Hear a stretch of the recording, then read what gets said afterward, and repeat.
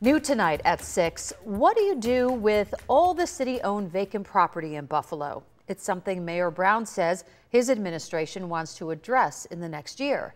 Two on your side's Nate Benson has more for us on that. Nate? Yeah, Mary Alice, during his State of the City address, Mayor Brown announced the city, city will use $10 million from the American Rescue Plan to begin building affordable housing on vacant properties the city of Buffalo owns.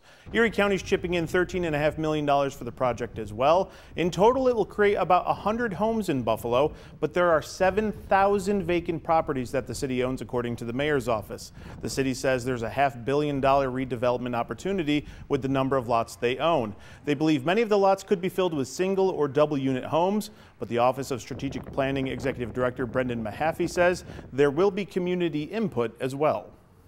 We're going to be doing a deep dive community engagement uh, to uh, engage the community on the vision, uh, which is different than in other parts of the city where it might be the one lot or the two lots, um, where we know it's going to be infill housing or it could be a community garden or something of that nature.